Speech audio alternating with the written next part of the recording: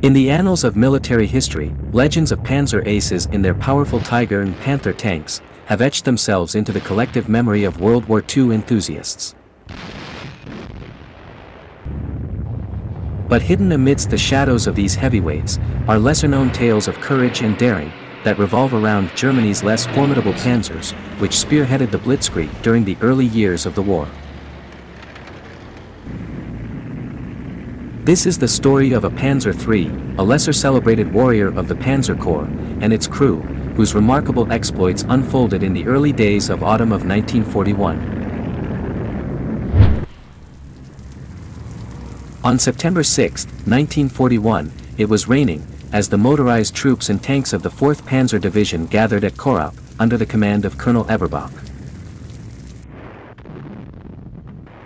The mission of Battle Group Eberbach, which included elements of the 35th Panzer Regiment, the 34th Motorcycle Battalion, and elements of the 49th Anti-Tank Battalion and the 103rd Artillery Regiment, was to advance through Kurilskoye and Atusha, and force a crossing of the Seym River near Baturin. The 33rd Rifle Regiment was to advance through Altanoka, and assist the river crossing to the left of the battle group. The fighting started with an artillery duel at 800 meters.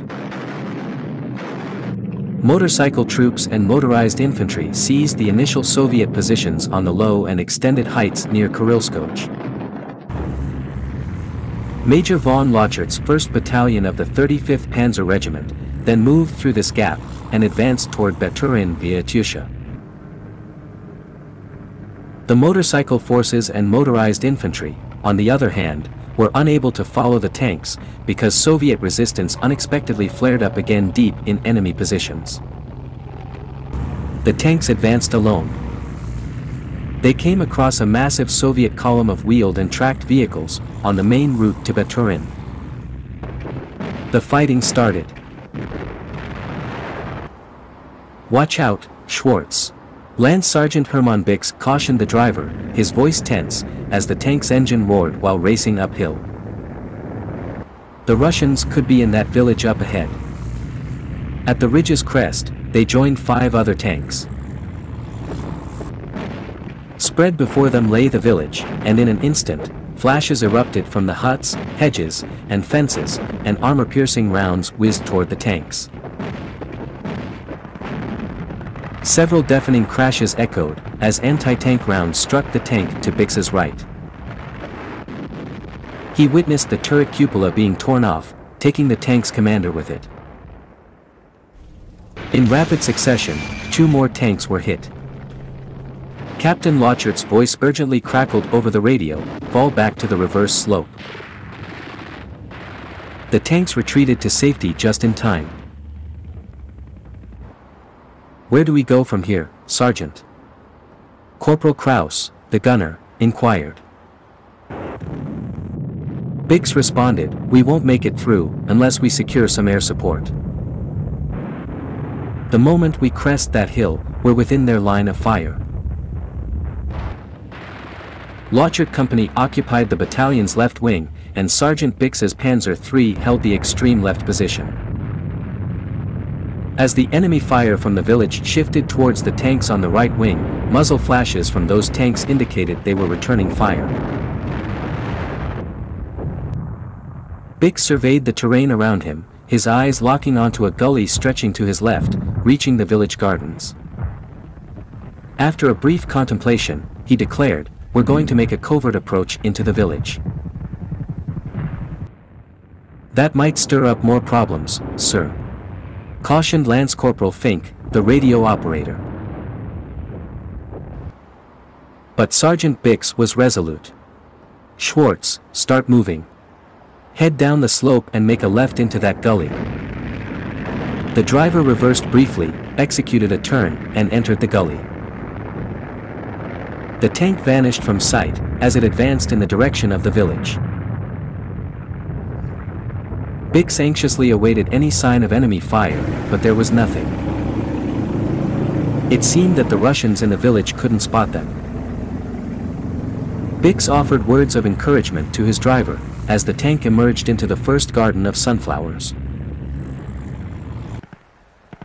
Out of nowhere, few Russian soldiers sprang to their feet and sprinted back towards the village. Almost simultaneously, the gunner and driver raised their voices, urgently exclaiming, enemy anti-tank gun up ahead, and to the left.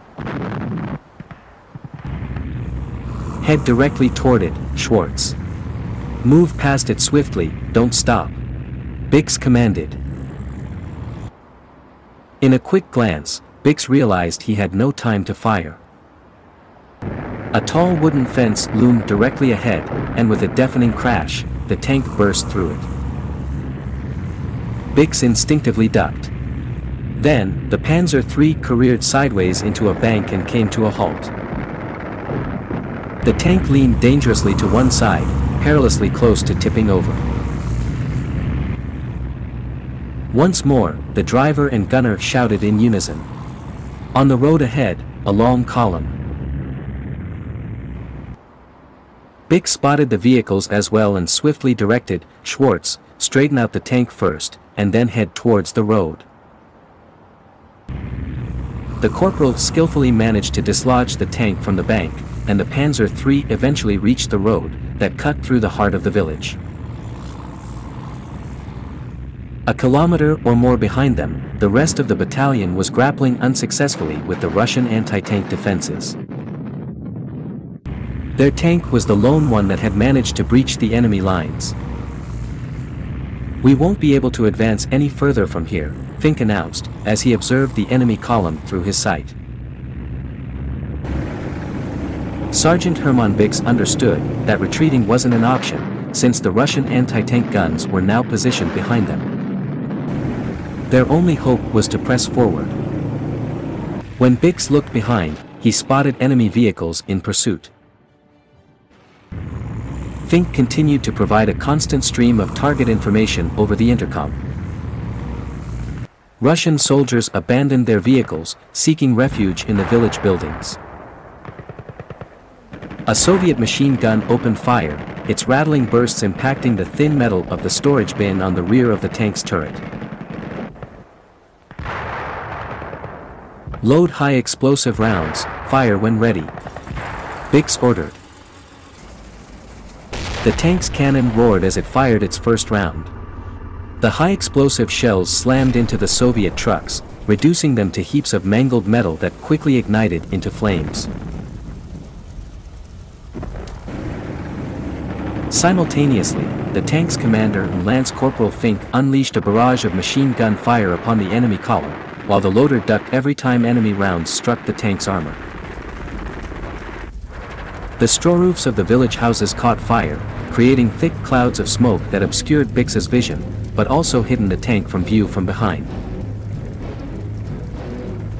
The blazing inferno above the enemy column expanded, and an ammunition truck exploded in a massive blast. The thunderous roar of the tank's cannon intermingled with the frenzied bursts of machine gun fire. Harpoon to commander, trapped within the enemy column. The message was accompanied by the relentless pounding of the heavy Maxim machine guns. In desperation, Bix attempted to contact the company for assistance, but the radio operator Fink hadn't deactivated the intercom, rendering communication with the company impossible. Then, Bix heard Captain Lauchert's voice exclaim. Harpoon, what on earth are you up to? You're confusing the whole battalion. Finally, the radio operator realized the need to switch to external communications. Sergeant Bix was finally able to report, I'm in the center of the village, trapped within the Russian column filled with artillery. Please come to my aid immediately.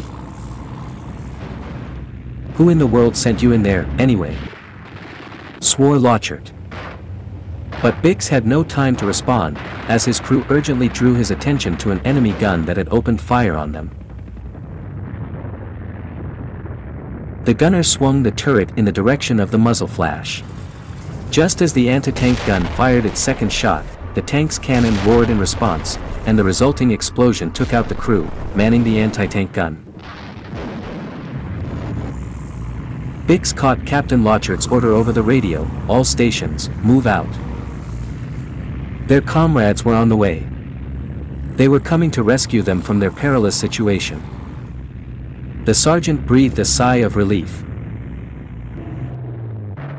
The lone German tank pressed forward, reaching the far edge of the sprawling village. A pair of horse-drawn wagons blocked the street. Hold tight. Schwartz cautioned. With a splintering and cracking noise, the Panzer III rolled over the first wagon, crushing it beneath its tracks. Ahead of them, the second wagon erupted in a fiery explosion. If we roll over a cart like that and it's packed with mines, we'll be meeting in heaven. Peterman, the loader, shouted amidst the chaos of gunfire and exploding shells. Harpoon, Harpoon, this is the commander. Where are you? Captain Lauchert radioed. We can't locate you, fire a signal flare. Harpoon to commander, preparing to fire a green-white signal for marking my position, Bix replied, and he fired the two flares. Within moments, he heard his commander's voice once more. Are you really on the other side of the village? That seems impossible. Bix responded, I'll launch the green-white signal once more, and he fired two additional flares. Moments later, the voice of his commander came through, having recognized the situation. All stations, advance, Bix is alone up there. Infantry, move forward. Bix's tank descended from the street and ventured into the gardens, firing only when it was spotted by the enemy. Gunner Kraus inquired, when will the others arrive? It shouldn't have taken this long. A brief pause in the gunfire allowed them to hear the distinct sounds of tank cannons and the sharper cracks of anti-tank guns. Bix noted, they're taking on the anti-tank guns we bypassed. What Bix and his comrades were unaware of, was that the motorized infantry and motorcycle troops were simultaneously closing in on the village. At last, the first tank arrived. Captain Lauchert steered his way up, and Bix, who had popped open his hatch, reported their situation. The captain shook his head, as he surveyed the damaged trucks and blazing houses. Bix, frankly I was about to reprimand you, but the situation here alters everything, he said. The captain then reported to the battalion that the situation was under control. The tanks retraced their path, heading back the way they had advanced. At their next stop, Bix and his fellow soldiers were informed that the infantry had captured 800 prisoners and seized 60 undamaged vehicles. Additionally, they had successfully neutralized 12 anti-tank guns and 16 heavy guns. A remarkable feat it was, a lone German tank acting independently, managing to obliterate the entire vehicle and equipment inventory of a Russian motorized battalion. Major von Lauchert recommended Lance Sergeant Hermann Bix for the Iron Cross First Class, and his entire crew was honored with the Iron Cross Second Class. Bix received his well-deserved decoration on October 20, 1941, just 20 days after being promoted to Company Sergeant Major. Hermann Bix would go on to achieve numerous more victories, and eventually earn the prestigious Knight's Cross of the Iron Cross.